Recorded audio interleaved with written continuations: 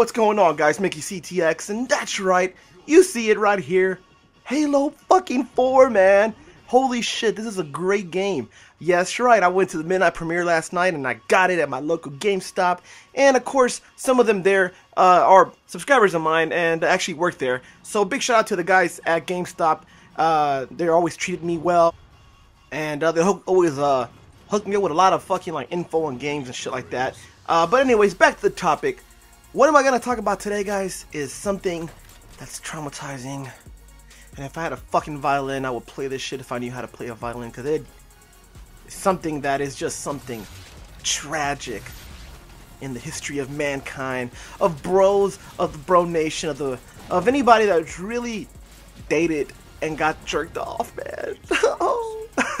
what, am I, what am I talking about, man? All right, look. So here, here's the story. Back when I was dating uh, more around uh, started going out with more girls after, of course, my first breakup. And, uh, you know, you, you know, you go like on a rampage. You're like doing all these fucking like triple feeds and, you know, quad feeds of dating girls and shit like that. And, uh, I ended up dating this one girl. She was this one typical blonde, typical just, you know, cheerleader girl, but I never really paid attention to so much details back then. And, uh, she ended up having these really long nails that I, at first I didn't I didn't pay no mind. The bitch looked like a fucking you know novel from a Wolverine movie or some shit, and um, it, it, was they were pretty long. I'm not saying they're like exaggerating long, but they were long enough to fucking hurt you, and uh, you don't want to be you know getting poked by them in your eyes. And uh, it looked like like those things deserve like a fucking permit or something like a like a hunting permit. Those things were fucking lethal. Anyways, long story short, we went out you know, hooked up, uh, you know, a few times. That we made out, but I, I didn't really, really pay mind to the nails. It wasn't like a big deal. In my eyes, it was like the bitch is hot, the bitch is, D, you know, DTF, the bitch is ready to fucking just smash. So what do I do here? I'm not gonna tell the girl, hey, hey, you know, let, let, me just clip those things off. Let me just cut those nails off and uh, make the night a little better. But the last thing that occurred to me was the fact that if she was to stroke me down there, you know, jerk me off, uh, it, it, it was gonna hurt, okay? Cause uh, it did. The bitch ended up going down there, uh, first time ever, and uh, fucking penis just came out traumatized. It just the, the penis came out fucking scarred for life. I'm not kidding you. That shit fucking hurt. As soon as she fucking started it, as soon as it became more you know evident that she was gonna do, bitch fucking ended up hurting my penis. Fucking scratched the shit out of it, and not just the the skin part, the meat part, man. Holy fucking shit. That shit hurt so fucking much. I, I, I had to stop it. I had to tell the girl, yo, you either suck that shit or we smash and you stop jerking the shit off. Because see, the thing was, the girl didn't want to smash just yet. We were just, you know, on top of the close type of thing. At that time, I was really young. I didn't know how to fucking, you know, close the deal like I do today. You know, I thought it was so hard to close the deal at that time uh, because I was, you know, very young and naive, and I didn't know much about, you know, girls at that time like I do today. But it was so simple to just. I mean, we're both already fucking naked. And I continued to let her just masturbate me. In other words, fucking jerk me off. And uh, because of my stupidity, I ended up getting hurt. See, see, this is what happened. I'm a wounded warrior for you guys, and I, don't I am not even having any kind of like donations or anything here. This is, this is all bro stories, man. But I ended up um, telling her. I actually told her that it was so weird. I told her, look, if you continue hurting me down there every time we're doing this, we're just gonna not do it anymore. The funny thing is that she's like, well, do you have any condoms? I'm like, yeah. And you know what the fucking response her of hers was? Was, I didn't know you had any. That's why we never smashed. I'm like, wow. And I'm spinning around in my in my fucking computer chair right now because that's how I felt that day. All I needed was to say, yo, I got some condoms. Let's do this. We're naked.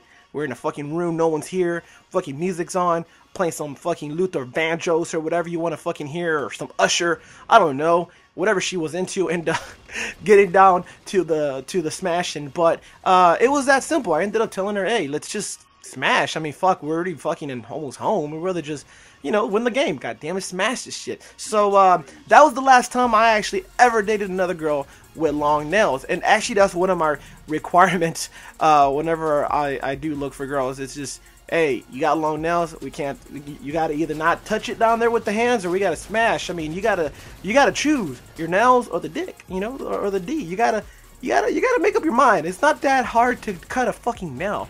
Uh, because I know girls don't like it when we have our nails, and it's kind of contradicting themselves because they don't like them whenever we're like doing them with our nails, and that shit hurts them. But they could fucking freely roam around with some long ass fucking fake ass nails or some real fucking nails. I don't know, Freddy Krueger nails, and uh, it's good in their book.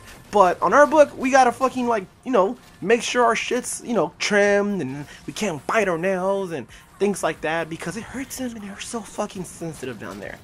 Yeah. So hopefully you guys did and also like uh, maybe gotten through some shit like this because this stuff is kind of, I'm pretty sure it's common when uh, a girl just strokes it too hard or kind of like just grabs it where it fucking hurts, uh, like where it's like painful. So hopefully you guys don't actually have to suffer from that. So next time you guys look at a girl and you see some fucking nails that are just too long, like I said, like a Wolverine or a fucking Freddy Krueger type of nails, you make sure the bitch just cuts that shit off. Just look, look, I buy the nail clipper. You cut them, I buy them.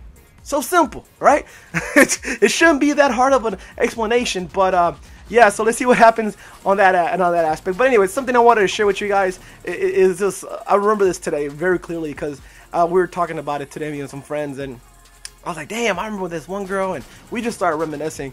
And uh, so I wanted to share this shit with you guys and see what you guys thought. And uh, I don't know if you guys have, have ever had like a like kind of like an experience where you guys are traumatized by something that the girl might have had. Maybe her hair was too long and poked in the fucking eye and scratched your cornea. I don't know. Uh, there's a lot of fucked up shit that happens in bed. Actually, some of the most tragic events that I've heard that happen to anybody in a household is in bed. So remember that shit. It's a fact. I looked it up before. It's not like a hundred percent like you know Guinness World Record, but it's a fact that I've read on a blog. So yeah, if it's on the internet, it's true. You know, it's, it's the internet, right?